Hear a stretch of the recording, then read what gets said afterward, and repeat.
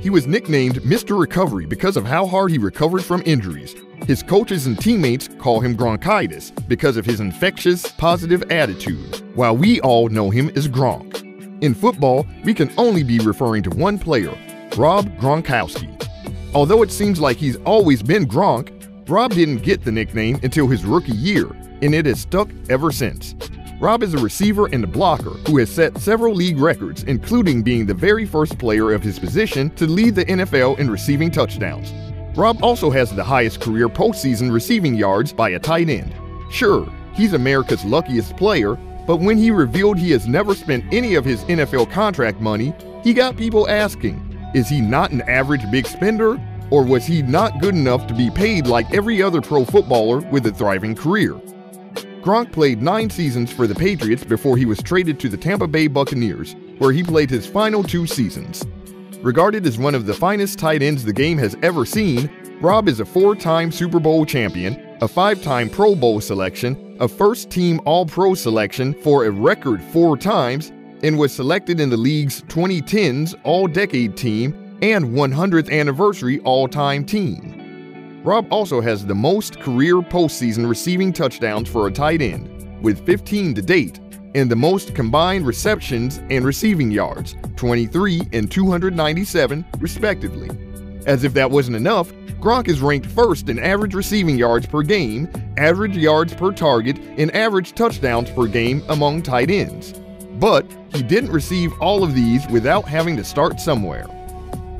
Born on May 14, 1989 in Amherst, New York, Robert James Gronkowski was raised by Gordon Gronkowski, who is of Polish descent, and his mom, Diane Walters. Rob was born into a family where two things were certain. He was going to be an athlete, and he was going to be tough as nails. Rob was the second youngest of five brothers, and despite his age, they refused to take it easy on each other. As Gordon had said, there were brawls every day, they were in full on fistfights. Even when they were little, the boys were generally big and all grew to 6 foot 2 or taller. In addition to being competitive, Rob's great grandfather, Ignatius Gronkowski, represented America in the 1924 Summer Olympics in Paris as a cyclist and holds five world records in the sport. Three of his brothers, Dan, Chris, and Glenn, played in the NFL, while Gordy Jr., his oldest brother played professional baseball. Gordy also played collegiate football as a lineman for Syracuse University and nearly made the roster of the New Jersey Generals in 1983. But once football was behind him, he took a job as a salesman and began raising a family with his then wife, Diane, who he divorced in 2008. Gordon eventually opened his fitness equipment business, which made him a natural trainer and coach to his boys, with the sports of choice, which were baseball and hockey, until he permitted them to take up football once they reached junior high. It was quite a crazy household, as you can imagine, Gordon recalled. I had a rule that there was no hitting in the face and in the midsection. We had a great brawl every single day, and I had to break somebody up. It was a very competitive household, and that's exactly how I was growing up. I always wanted to win, and they got that from me. The way Gordon settled disagreements was to put the feuding brothers in different corners of the living room, each armed with a couch pillow. Maybe he should have also instituted time limits because Gronk never knew when enough was enough. Of all the boys, Rob was always picked on because he always wanted to be the wise guy. They would nail him while doing those Charlie horses and things, and when they were through, Rob would go right back after the rest of them. That boy had no fears while growing up, and he's still like that, said Gordon. In high school, Rob played just about anything. He was the first baseman on the baseball team, center on the basketball team, and tight end and defensive end on the football team. But it was in his junior season where his football career took off. Rob recorded 36 receptions for 648 yards, 7 touchdowns on offense, and an impressive 73 tackles and 6 sacks on defense. After that, he was named All Western New York First Team and All State Second Team player. Aside from being a multi talented athlete, Rob was also a member of the National Honor Society, mainly because he was good at math. Going into senior year, the family would relocate to suburban Pittsburgh, where Rob attended Woodland Hills High. However, Rob couldn't play much due to eligibility rules, but he caught eight passes for 152 yards and four touchdowns. Rob gained the attention of those at the next level, and in no time, colleges from all over the country begged him to choose them. When you thought Rob would weigh the options and eventually pick the best program for his career, his deal breaker was the Arizona pool party. He simply told his dad, if you ever went to an Arizona pool party, you'll understand. And that's how he ended up at the University of Arizona.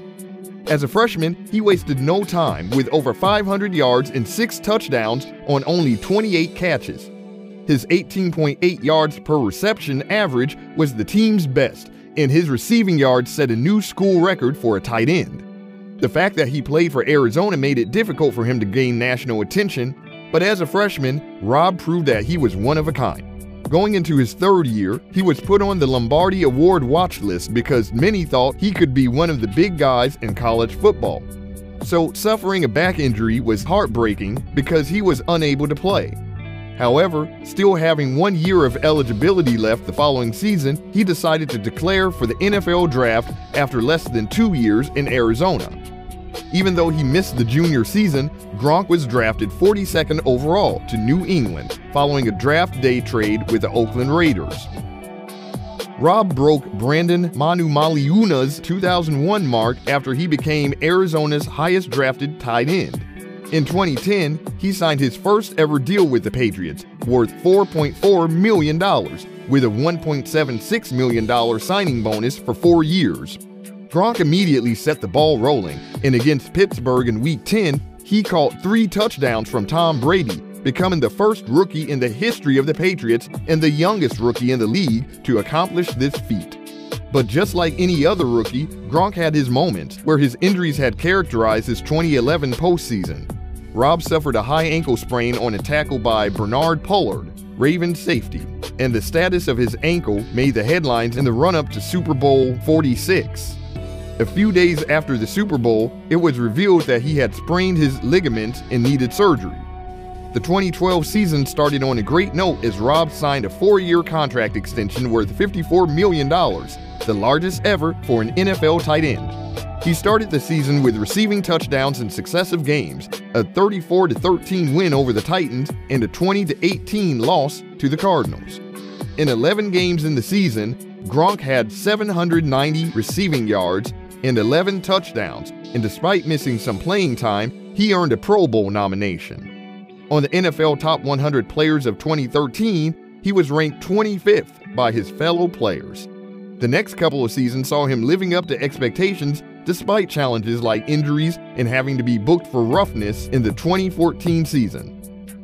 Rob was steadily becoming a sensation, especially after he made a comeback after an offseason deal with the Detroit Lions fell through. Rob's biggest moment came when he had a 29 yard catch from Brady with the score tied at three in the fourth quarter, which took the Patriots to the two yard line and set up the game's only touchdown, with Sony Michel scoring on a two yard rush to put the Patriots ahead. Although Gronk announced his retirement in 2019, he would later return to the game, citing mental health as the reason for his initial retirement. The Patriots, which still held Gronk's rights, traded him to the Buccaneers along with a seventh round pick in exchange for a compensatory fourth round pick in the 2020 NFL Draft. This trade reunited him with his buddy Tom Brady, who signed with the Tampa Bay Buccaneers a month before. Considering that Brady was adamant about the team getting Gronk, he was well aware of what the two could do. The following season, he re signed with the Tampa Bay Buccaneers on a $10 million contract. Though the 2020 season was rare in which Rob played all 16 games, 2021 proved a little more problematic for Gronkowski health-wise.